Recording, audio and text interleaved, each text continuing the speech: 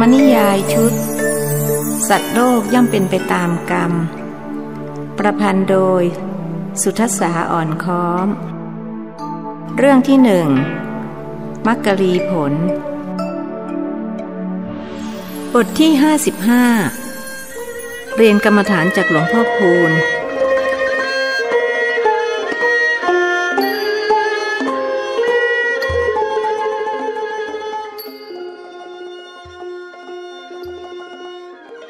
คืนนั้น พระเจริญนอนคิดว่าจะไปหาครูบาอาจารย์ที่ไหนที่จะสามารถสอนกรรมฐานให้ท่านได้ สมภารวัดศรัทธาพิรมก็มรณภาพก่อนที่ท่านจะอุปสมบทเพียงเดือนเดียว ไม่เช่นนั้นโยมยายก็คงให้ท่านไปบวชที่วัดศรัทธาพิรม หรือถ้าหลวงพ่อช้างยังมีชีวิตอยู่ ท่านอาจจะเลือกบวชที่วัดตึกราชา จะได้เรียนสมถกรรมฐานกับหลวงพ่อช้าง หากได้ฌาน ท่านจะเหาะไปดูมักกะลีผลที่ป่าหิมพานโน้น ท่านไม่เคยลืมเรื่องมักกะลีผล ที่โยมยายเล่าให้ฟังหลายต่อหลายครั้ง หากเป็นคนอื่นเล่าท่านคงไม่เชื่อ แต่โยมยายถือศีลกินเพลมาตั้งแต่เป็นสาวรุ่นรุ่น เรื่องที่จะพูดโกหกพกลมนั้นเป็นไปไม่ได้แน่ และที่สำคัญกว่านั้นก็คือ หลักฐานมีอยู่ที่โยมยายครบ ทั้งตำราหุงประหลอดและประหลอดที่หุงสำเร็จแล้ว ช่วงเวลาของการคิดคำหนึงภาพของภิกษุรูปหนึ่งก็ผุดขึ้นในความคิด หลวงพ่อพูนแห่งวัดสังฆราชา ตอนเป็นเด็กท่านชอบไปคุยกับหลวงพ่อพูนเพราะนอกจากจะได้กินขนมอร่อยแล้ว ยังได้ฟังนิทานสนุกสนุกที่หลวงพ่อพูนเล่า พระหนุ่มจึงตกลงใจว่า วันพรุ่งนี้หลังจากฉันพัตตาหารเพนแล้ว ท่านจะไปกราบและขอเรียนกรรมฐานกับหลวงพ่อพูนที่วัดสังฆราชา พระครูสิงหราชมุนีกำลังจะฉันกิลานเพสัตครั้นเห็นภิกษุหนุ่มเดินขึ้นมาบนกุฏิก็ถือถ้วยยาค้างไว้ พระเจริญคุกเข่าลงตรงหน้าภิกษุวัยเจ็ดสิบสองกราบเบญจางขประดิษฐ์สามครั้ง แล้วจึงเอ่ยวาจา หลวงพ่อจำผมได้ไหมครับ เด็กชายเจริญหลานยายจางที่ชอบมาคุยกับหลวงพ่อบ่อยๆ เมื่อสิบกว่าปีก่อน พระครูสิงหราชมุนีใช้เวลาคิดอยู่ครู่หนึ่งก็จำได้อ๋อ เธอนั่นเอง นี่บวชตั้งแต่เมื่อไร แล้วโยมจ่างสบายดีหรือ อายุคงจวนเก้าสิบแล้วกระมังแปดสิบเจ็ดแล้วครับหลวงพ่อ ส่วนผมก็บวชเมื่อก่อนเข้าพรรษากะว่าจะศึกตั้งแต่เมื่อวาน แต่โยมยายให้อยู่ต่ออีกเจ็ดวัน เพื่อเจริญกรรมฐาน ผมจึงจะมาขอเรียนกรรมฐานจากหลวงพ่อ พระหนุ่มบอกความประสงค์ แล้วใครเป็นอุปชาของเธอล่ะ ทำไมถึงไม่เรียนกับท่าน ฉันไม่อยากข้ามหน้าข้ามตาใคร พระครูสิงหราชมุนีปฏิเสธไกลๆ เจ้าคุณพรมนักราจารย์วัดแจ้งพรมนครครับ ท่านบอกว่าไม่จำเป็นต้องเรียน เพราะไหนๆก็จะลาสิกขาแล้ว เมื่อพูดกับหลวงพ่อพูนท่านไม่ต้องใช้ถ้อยคำที่ฟังดูเป็นพิธีรีตอง เหมือนที่พูดกับพระอุปัชฌาย์เจ้าคุณพรมพูดอย่างนั้นก็ไม่ถูก อันที่จริงมันไม่เกี่ยวกับการศึกหรือไม่ศึกหรอกนะ คนที่บวชแล้วไม่ได้ปฏิบัติก็ไม่ครบไตรสิกขาน่ะสิทำไมเธอถึงไม่มาบวชที่วัดนี้ล่ะ โยมยายบอกว่าไกลบ้านครับ เวลาไปบินทบาททำให้ลำบากและเสียเวลามาก ผมจึงบวชที่วัดพรมบุรี โดยเจ้าคุณพรมท่านมาเป็นอุปชาให้ นั่นหลวงพ่อฉันอะไรครับ ท่านมองน้ำสีน้ำตาลเข้มในถ้วย ที่พระครูสิงหราชมุนีถือค้างอยู่ ยาต้ม ฉันอาพาธมานานต้องฉันยาทุกวัน เป็นอะไรหรือครับ แล้วหลวงพ่อไปหาหมอหรือเปล่า ถามอย่างอาทร เพิ่งจะสังเกตว่าภิกษุวัยเจ็ดสิบองดูซูบซีดและเหนื่อยล้า หมอเขาว่าเป็นฝีในท้องรักษาไม่หาย และไม่มียารักษาด้วย ฉันเลยหายามาต้มกินเอง ก็พอทุเลาลงบ้าง มันปวดเหลือเกินเธอเอ้ย เวลาถ่ายก็มีมูกเลือดออกมาด้วย ทรมานอย่าบอกใครเชียว หากเป็นโยมยายพูดเช่นนี้ ท่านคงจะย้อนถามว่า แล้วยายมาบอกผมทำไม เพราะความเคยชิน แต่กับภิกษุผู้กำลังอาพาธรูปนี้ ท่านไม่อาจพูดเช่นนั้นได้ นิมนต์หลวงพ่อฉันยาก่อนเถิดครับ หลวงพ่อปูนจึงยกถ้วยยาขึ้นดื่ม แล้วบ้วนน้ำลายลงกระโถนพรางบนยาไทยนี่มันขมเหลือเกิน แต่ก็ยังดีกว่าทนปวด สังขารนี่มันทุกข์จริง ๆ นะเธอนะ ฉันคงจะละมันไปเสียที นี่ก็ตั้งใจว่าจะอยู่ต่อไปอีกสองวันพระ เธอมาช่วยงานศพฉันด้วยนะ พูดเหมือนเป็นเรื่องธรรมดา หลวงพ่อพูดจริงหรือพูดเล่นครับ พระหนุ่มใจหายว่า พูดจริงนะสิ เรื่องพูดเพ้อเจ้อโปรยประโยชน์น่ะ ฉันไม่ทำหรอกบาปกรรมเปล่าๆ ถ้าเช่นนั้นผมคงหมดโอกาสที่จะเรียนกรรมฐานกับหลวงพ่อ เพราะหลวงพ่อจะละสังขารเสร็จแล้ว ท่านพูดอย่างผิดหวัง ยังไม่หมดหรอก อีกตั้งสองวันพระกว่าฉันจะไป เธอจะเรียนวันนี้เลยก็ยังได้ เอาไหมล่ะ ผมเกรงใจครับ ไม่อยากให้หลวงพ่อต้องมาลำบากเพราะผม จะลำบากลำบนอะไรกัน ดีเสียอีก ฉันจะได้ทำประโยชน์ให้กับโลกเป็นครั้งสุดท้าย เธอจำไม่ได้แล้วหรือ เสด็จพ่อของพวกเรานั้น ขนาดพระองค์กำลังประชวรจวนจะดับขันธปรินิพานยังทรงพระกรุณาโปรดสุภัทปริพาชก ให้บรรลุอรหัตผลเป็นปัจฉิมมาสาวก ฉันต้องการทำประโยชน์มิใช่มานั่งนอนรอความตาย เสียงที่พูดแม้แหบแห้ง หากแสดงถึงความเด็ดเดี่ยวของผู้พูด ถ้าเช่นนั้น ผมจะกลับไปเรียนขออนุญาตท่านสมภารมาอยู่กับหลวงพ่อสักเจ็ดวันนะครับ จะได้ช่วยรักษาพยาบาลหลวงพ่อด้วย ถึงศึกแล้วผมก็จะมาปรนิบัติหลวงพ่อเพื่อทดแทนคุณ พระหนุ่มพูดด้วยสำนึก แห่งกะตะเวทิตาธรรม ดี จะทำอะไรก็ทำเลย อย่ามัวผัดวันประกันพรุ่ง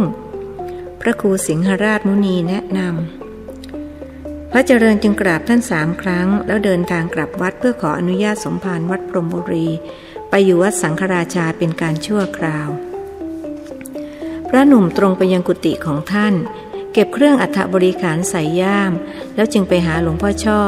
เจ้าอาวาสวัดพรหมบุรี ท่านสมภารครับ ผมพระเจริญทิตธรรมโม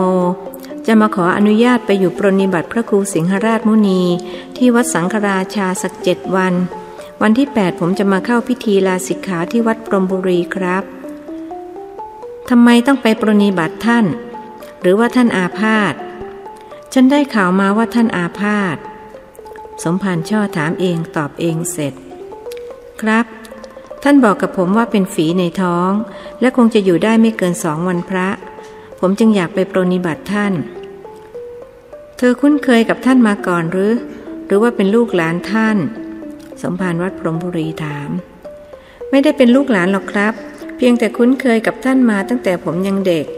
ท่านให้ขนมกินและเล่านิทานให้ฟังด้วยครับ พระหนุ่มไม่บอกเรื่องที่จะไปเรียนกรรมฐาน ถ้าเช่นนั้นก็ไปเถอะ ไว้ว่างๆฉันก็จะไปเยี่ยมท่านเหมือนกัน หมู่นี้งานยุ่งเหลือเกิน พระหนุ่มจึงกราบสมภารสามครั้ง แล้วลุกออกมา ตั้งใจว่าจะไปแวะตลาดเพื่อซื้อทูปแพรเทียนแพรเตรียมไปขึ้นกรรมฐาน กรรมฐานที่พระครูสิงหราชมุนีสอนให้กับพระเจริญ คืออานาปานสติ คือการกำหนดรู้ลมหายใจเข้าออก เมื่อหายใจเข้ากำหนดในใจว่าพุทธหายใจออกกำหนดในใจว่าโท รับกรรมฐานแล้ว พระหนุ่มก็นั่งภาวนาพุทโธอย่างตั้งอกตั้งใจ รู้สึกสนุกและตื่นเต้นกับการปฏิบัติ หากก็เพียงชั่วครู่ เพราะเมื่อหนึ่งชั่วโมงผ่านไป ท่านก็รู้สึกเบื่อหน่าย และเกิดความสงสัยว่าจะปฏิบัติไปเพื่ออะไรศึกออกไปเล่นดนตรีไทยยังจะดีเสียกว่า ท่านคิดถึงระนาดที่หลวงทารามอบให้เป็นมรดก งานลอยกระทงเดือนหน้านี้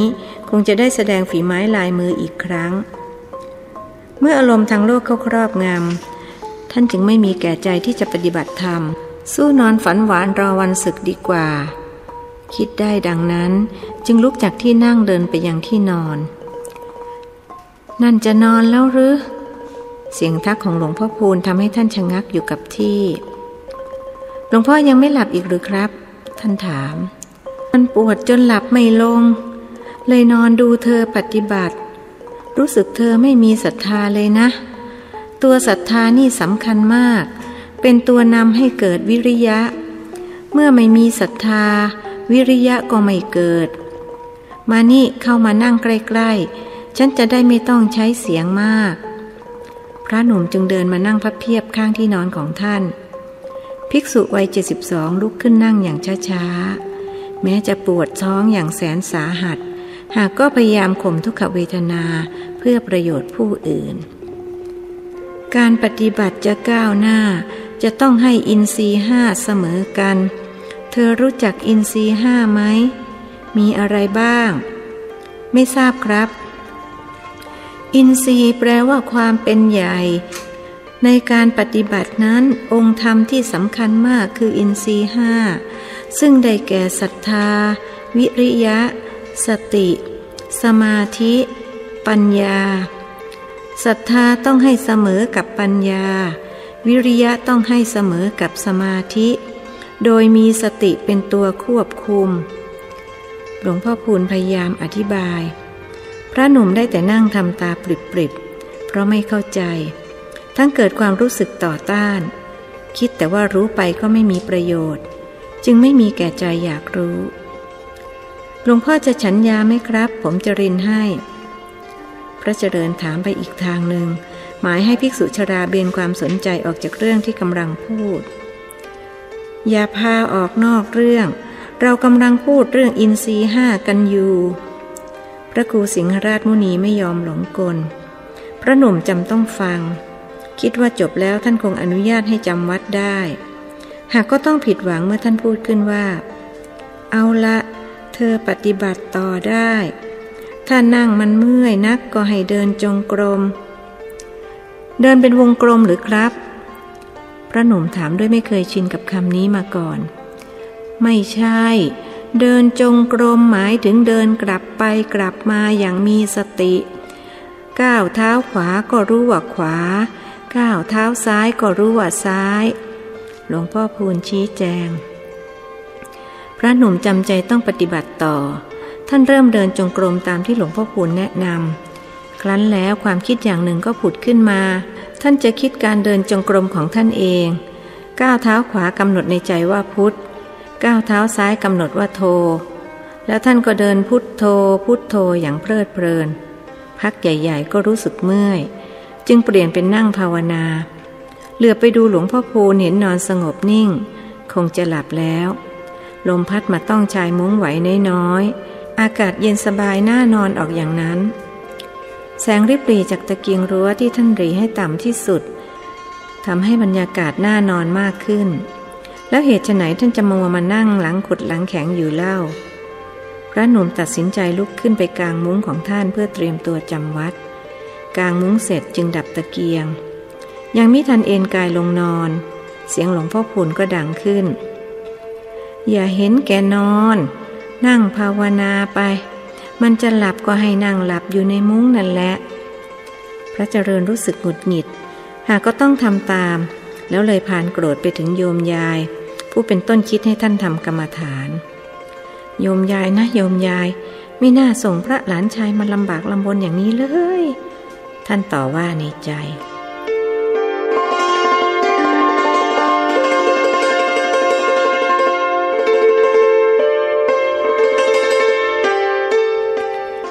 เจ็ดวันผ่านพ้นด้วยความอึดอัดและฟุ้งซ่านรำคาญใจ พระเจริญรู้สึกเข็ดขยาดกับกรรมฐานของหลวงพ่อพูลท่านรู้สึกว่าไม่ได้อะไรเลย จากการปฏิบัติครั้งนี้ศรัทธาที่ไม่เคยมียังคงไม่มีต่อไป พระครูสิงหราชมุนีเองก็รู้สึกว่าลูกศิษย์ของท่านไม่ได้อะไรจากการปฏิบัติ แต่ก็ยังดีที่เขาปรนิบัติวัดถากท่านเป็นอย่างดี นี่ก็บอกว่าไปทำพิธีลาสิกขาแล้วจะกลับมาดูแลท่าน ช่างเป็นคนมีน้ำใจเหลือเกิน คนเช่นนี้หาได้ไม่ง่ายนัก จึงสมควรที่จะได้ของดีที่ท่านมีอยู่ ดังนั้นเมื่อพระหนุ่มมากราบลาเพื่อกลับวัดพรมบุรี ท่านจึงบอกเขาว่า ขอบใจเธอมากที่มาช่วยดูแลฉัน ฉันมีของดีจะมอบให้เธอ เพราะวันพระหน้าฉันก็จะละโลกนี้ไปแล้ว เธอจงเก็บรักษาไว้ให้ดี นี่เป็นของเก่าแก่จากสุขโขทัยเชียวนะ ท่านยื่นพระพุทธรูปปางลีลา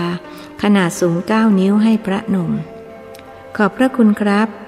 พระเจริญก้มลงกราบสามครั้ง เก็บไว้ให้ดีนะ เป็นของเก่าจากสุขโขทัยตกทอดกันมาหลายชั่วคนแล้ว หลวงพ่อได้มาจากไหนครับ พระเจริญถาม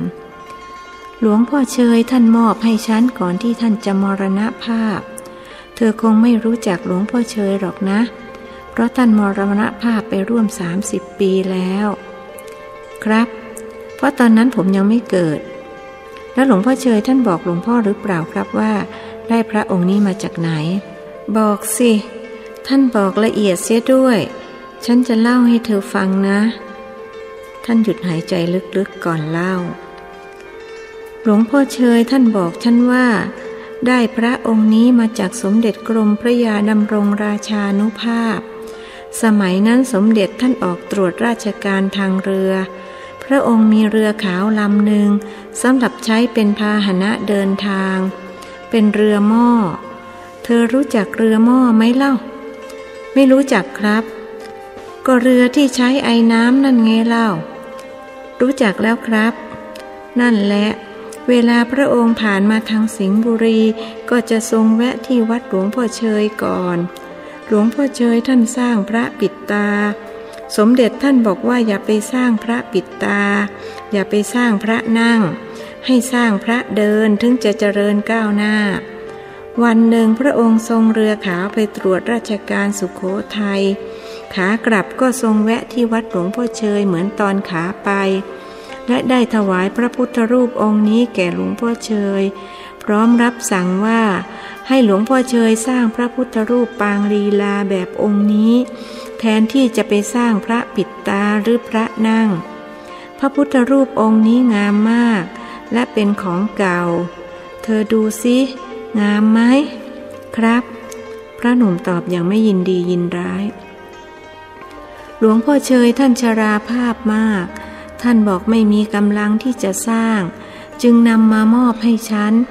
ขอให้ฉันสร้างแทนท่านด้วย ฉันจึงสร้างพระพุทธรูปปางลีลาไว้ที่หน้าโบสถ์องค์หนึ่ง แต่ก็งามสู้องค์นี้ไม่ได้ ฝีมือช่างสมัยนั้นกับสมัยนี้จะเทียบกันได้อย่างไร จริงไหม จริงครับ ท่านตอบไปอย่างนั้นเอง เพราะใจไปอยู่ที่วัดพรหมบุรีเสียแล้ว ท่านอยากศึกจนเนื้อเต้นก็ว่าได้ นั่นสิสมเด็จท่านยังมีรับสั่งกับหลวงพ่อเชยอีกว่า พระพุทธรูปปางลีลานั้นมีสร้างอยู่สามแห่ง คือที่สุขโขทยัยกำแพงเพชร และสุพรรณบุรี แต่ที่สุขโขทัยนั้นงามที่สุด แล้วหลวงพ่อจะให้ผมสร้างอีกหรือเปล่าครับ ท่านถาม ถ้าเธอศึกไปแล้วก็ไม่ต้องสร้าง แต่ถ้าเธอยังไม่ศึก ฉันก็อยากให้เธอสร้างไว้ที่หน้ากุฏิของเธอ พูดก็พูดเธอ ฉันดูหน้าเธอแล้วรู้สึกว่าเธอจะต้องบวชไปจนตลอดชีวิต พระหนุ่มรู้สึกไม่พอใจ จึงพูดตรงไปตรงมา เป็นไปไม่ได้หรอกครับหลวงพ่อ ผมไม่มีศรัทธาที่จะเป็นพระ ผมเรียนตามตรงก็ได้ ผมเกลียดพระ แต่ผมไม่เกลียดหลวงพ่อหรอกนะครับ เพราะหลวงพ่อมีพระคุณต่อผม โบราณว่าเกลียดขี้ขี้ตาม เธอเกลียดพระก็จะต้องเป็นพระ ฉันว่าเธอศึกไม่ได้แน่ ภิกษุวัย 72 พูดด้วยเสียงที่แหบแห้ง หากก็ทำให้คนฟังหงุดหงิดขัดเคืองใจยิ่งนัก